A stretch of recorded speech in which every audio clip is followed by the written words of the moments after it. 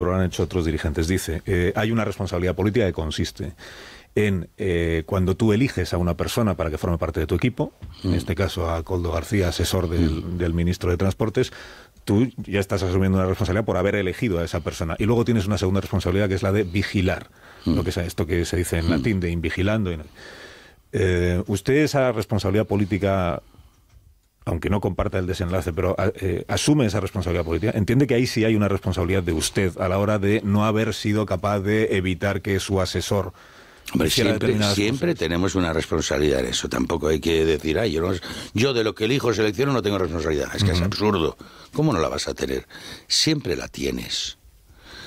Y en la otra, pues también. Ahora, hay que también conocer los límites. Si a ti te prepara una persona que te dan todas las garantías, pues oye, también quien te lo propone y te merece todas las garantías, pues indagas menos. ¿Quién, le propuso bueno, no, era un compañero de Navarra y venía bien acreditado. Yo no. ¿Por quién? Bueno, pues en ese momento por los compañeros de Navarra. Quiero decir que. Compañeros de Navarra Que yo buscaba. Sí, pero, pero, pero es que Santos está igual que yo. Estamos en la misma situación. Pero, claro, yo necesitaba una persona que me acompañara cuando yo era esta organización que no fuera de los conductores que teníamos allí que tenían un horario entonces yo viajaba mucho, me desplazaba mucho, enganchaba un viaje con otro y necesitaba una persona como aquel que dice que no tuviera vida, 24 horas. Y buscaba a alguien que además, lógicamente, pues fuera de confianza, porque escucha, la persona que está al lado conduciendo, escucha lo que hablas, con quién te ves, y siempre merece alguna confianza y una sintonía política. Y en este caso, pues esta persona que, había que se había dedicado a la seguridad siempre, pues y que eh, se había comprometido con nosotros en las primarias, en pues y eh, me servía de conductor, seguridad, pues y tenía esa disposición. Pero luego usted le fue dando más papel, ¿no? En el, claro, porque yo me paseaba mucho, muchas horas en el coche con él. Y, y, era una persona como muy entregada, muy comprometida, en fin, eh, claro, en fin, todas las personas no son lo, como aparecen ahí luego, reflejadas. Todos tenemos incluso hasta, si, quieres, en el peor de los casos, hasta doble cara, pero bueno. Y una persona tan entregada y tal, cuando yo llego al ministerio, pues decido que siga. Eh, y entonces, pues. Eh, él, digamos, me acompañaba a todos los sitios, ¿no? No solo él, también lo hacía otras personas del gabinete, la de protocolo, gabinete, seguridad, decir, un ministerio siempre lleva mucho.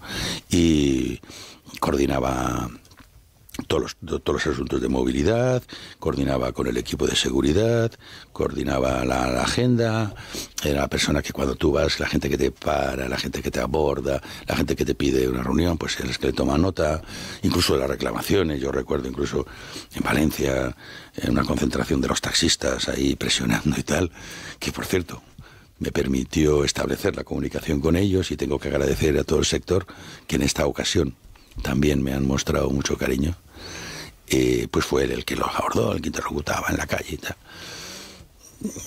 Ese es el papel, es decir, una persona que, que lleva esas tareas. Por eso muchas veces dicen, no, te hace falta cualificación. Bueno, mire, en los gabinetes eh, eh, el fundamento es la confianza. Por eso justamente el problema de ahora es la traición a la confianza. Pero es la confianza para hacer ese tipo de tareas que un funcionario no te las haría ni se las puedes exigir. Un funcionario dice, oye, trabajo ocho horas, yo me tengo que ir. Yo no estoy aquí todo el día, ¿no? Luego, porque si no, también luego hay que repararle.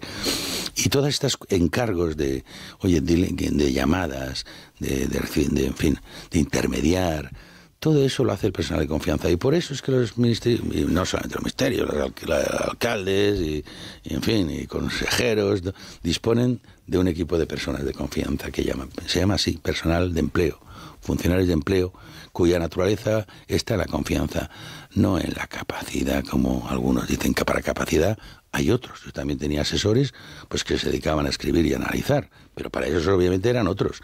Este no era el caso, obviamente, pero hacía, tenía otro. Otra cuestión ya es cómo él actuara, ¿no? Y cómo dejara de actuar y cómo se hiciera notar. Me, me ha dicho usted que la- el asesor, sobre todo si es el conductor, escucha cosas en el, en el coche oficial y que por tanto sabe, por eso hace falta que haya. Bueno, no, y luego de todas formas igual, yo tuve conductores del ministerio que no eran del partido ni eran de nada y también terminan escuchando, es inevitable. Lo que digo es, si usted teme que, como Coldo sabe tantas cosas que habrá escuchado acompañándole a usted a todas partes, si usted teme que Coldo pueda contar algo que le perjudique aún más a usted. No, estoy tranquilo. Yo me he portado bien con la gente. Bueno, pero vamos, que eso da igual, también, ¿no? No lo sé. Yo, yo quiero pensar que no, ¿eh? ¿Ha hablado con, con Coldo estos últimos días? De todas formas, le digo, mire, eh, a veces de la cosa más elemental, más cotidiana, uno puede efectivamente sacar un titular y una noticia, de hecho lo estoy viendo, ¿no? Eh, cosas muy indecentes, pero bueno, yo creo que aquí ya la deontología no existe en la política, pero no existe desde luego en el mundo de los medios, ¿no? O de los pseudomedios, porque aquí todo se homologa injustamente, ¿no?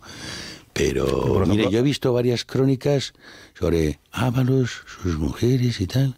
Me meten más divorcios de los que he tenido, oye, ya, ya vale, ¿no? O las fechas, las inconvental, los hijos, cosas muy asquerosas. Medios que incluso van de serios por la vida. Eh, han señalado, un vecino vio que volvía a su, al apartamento que tenía cuando era diputado, se le vio llevando cajas. Pues claro, porque mi hija se ha independizado y le ayudó a la mudanza. Y toda esa porquería tiene que ser así. Pero Oye, medio ¿me es- puedes dar la dirección de Ábalos que le quiero hacer una fotito en la puerta de su casa? Ese- Todo así. Ese medio José Luis contaba, si, si nos estamos refiriendo al mismo, eh, contaba ayer que Coldo García estuvo de inquilino en un piso que, estuvo, que es claro. propiedad de usted. Claro, y yo le O sea, dejé. usted le tuvo de inquilino al, a Sí, cobrando debidamente y declarado, claro, claro, claro. Y muy declaradito además. Sí, yo lo dejé, ese piso, y él quería, yo lo tenía en alquiler. Y entonces, oye, como hace cualquier propietario, prefiere meter a alguien que conozcas y le puedas agarrar que no a alguien que no conoces. Bueno, Siempre es- una garantía. A este se ha visto que le conocía usted poco, por lo que me está contando. O sea, Pero pagaba religiosamente el alquiler, ¿eh? ya le digo. sí, el asunto es de dónde sacaba el dinero para pagar el alquiler. No, hombre, estaba, le sobraba para eso porque estaba de asesor y además él, tenía una pensión porque era, como era profesional de la seguridad, pues había tenido un accidente, le faltaban, en fin, y tenía una pensión que no le incapacitaba para todo, ¿eh? Salvo para su profesión habitual, pero no, tenía sus recursos con lo que cobraba suficientes para pagar el alquiler, que tampoco es que fuera mucho. Y ahora- un piso de 40 metros. Y ahora que usted eh, ha, leído, como hemos leído todos, lo que hay en la investigación de la Fiscalía Anticorrupción, que a usted al final no le, no le afecta en términos judiciales, porque usted no está ni investigado ni nada, pero que afecta muy directamente a este Coldo eh, García y Zaguer. Ahora que usted ha leído todo lo que aparece Sí. ahí, eh, ¿Coldo es un golfo?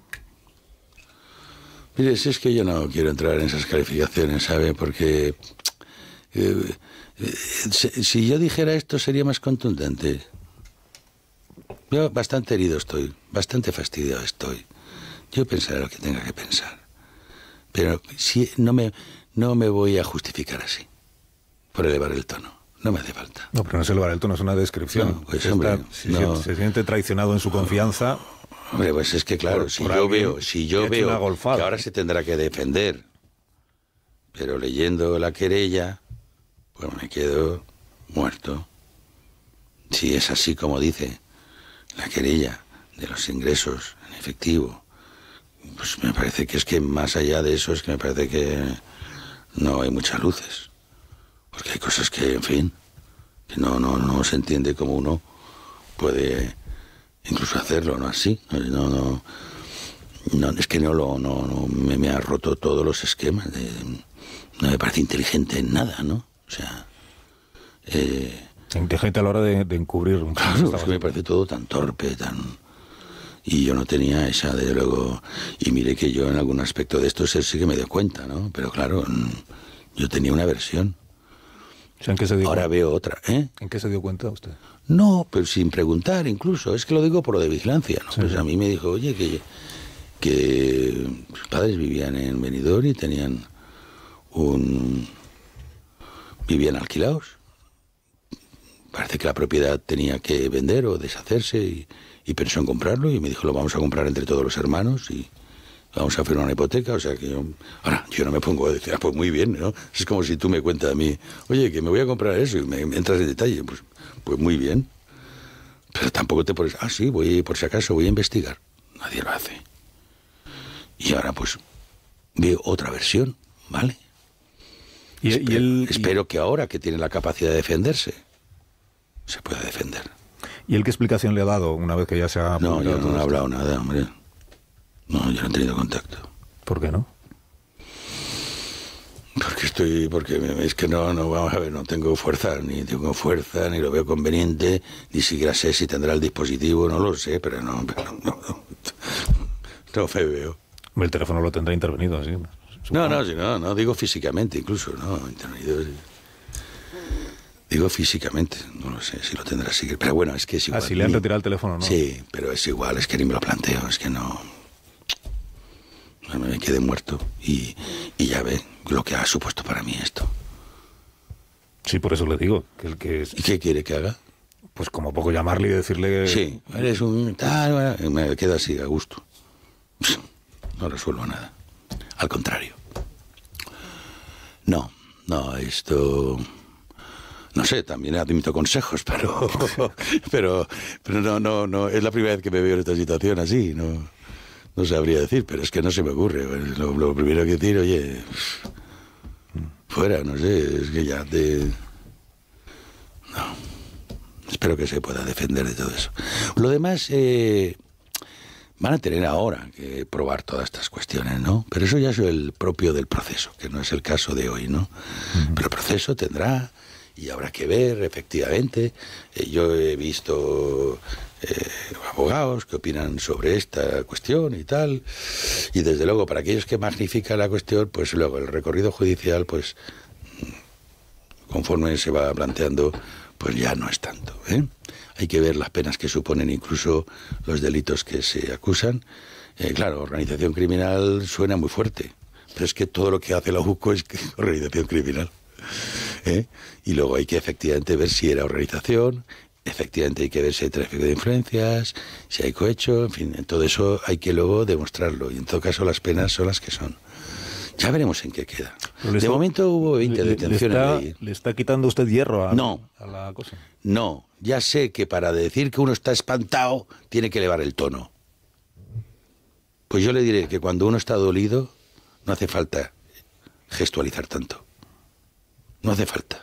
Pero he leído esta mañana, por ejemplo, y le, pregunto qué está usted. No hace falta. Ábalos está siendo más duro con el PSOE que con Coldo, que es el que le ha montado todo el lío, el que le ha generado el problema. No, vamos a ver. Es que no tiene nada que ver. ¿Cómo que yo soy más duro? Pues si el jodido. perdón. Pues si el, que, el, que, el que se ve en esta situación soy yo, justamente. ¿Qué más quiere que haga? ¿Qué más quiere que haga? Yo no tengo que hacer nada, si está en manos del juez. Ya no hace falta que haga más. Yo. Quien lo tiene que hacer es la justicia, no yo, poniendo el grito en el cielo. Es evidente. Entonces, lo que yo tengo que gestionar son las reacciones a todo eso. ¿Mm? Pero el otro, pues está la justicia ahí, está acusado. Y el, procedimiento va a seguir adelante. ¿Qué más tengo que hacer yo? Se ha recordado mucho estos días en las crónicas que usted deja de ser ministro en el año. Pero eso que me acaba de decir, no lo había oído, pero realmente sí que tiene mal, mala intención. ¿eh? Lo de que es más duro con el PSOE. Sí, sí, eso ya es la mala intención. Que Le diría quién lo publica, pero como él leído mil cosas esta mañana, luego se lo ubico. Se ha, se ha, recordado mucho en las crónicas de estos días su salida del gobierno en el año 2021, en aquel verano en el que el presidente, después de estar consultando con usted mismo cambios en el gobierno, le comunica que uno de los cambios es usted mismo. Y se dice, y le pregunto, eh, se dice que cuando usted le pregunta a Sánchez, eh, pero ¿por qué tengo que salir yo? Él le dice Tú ya sabes por qué, José Luis. ¿Esto ocurrió así? Ah, eso es una mención. Qué grande que es eso. O sea, estoy yo el presidente y hay otro que sabe todo. ¿Quién se lo ha contado? ¿Yo o el presidente? El presidente es una persona muy reservada, muy discreta. Tremendamente. Aguanta muchísimo. Yo lo conozco y te digo que, que, que él es tremendamente prudente. Luego, él descartado. Y yo te aseguro que no. Luego, ¿cómo se le puede inventar a la gente estas cosas? Es que es genial. Yo digo, bueno, si estábamos dos, salvo que no estuviera grabando, no creo. ¿Y cómo fue entonces la conversación? No, no. Real. No, no, desde luego eso no fue. Y yo creo que, que ya lo hemos comentado, y él mismo, en ese momento él quiere dar un cambio, superar la imagen de la pandemia. Oye, y tendría las consideraciones que tuviera. Tampoco eh, se explayó conmigo en eso. Y yo también es verdad que en cierta forma me venía bien. Yo estaba sufriendo mucha presión política, ahí sí que era caza mayor, y luego tenía un problema familiar que tenía que resolver, un problema personal que, que, tenía, que dentro del desempeño político no tenía margen. Y bueno, así es que yo incluso lo viví con una cierta liberación personal. Pero desde luego eso de, tú sabes por qué, es que ya ve, qué fantasía. Lo malo es que lo recogen de alguien de de otro de, de otro ámbito mediático muy dispar, ¿no? Nada, en absoluto. En absoluto. Y entonces, eh, ¿cuándo se tuerce la relación entre el presidente Sánchez y usted? No, no es que se tuerce, sino que cambia.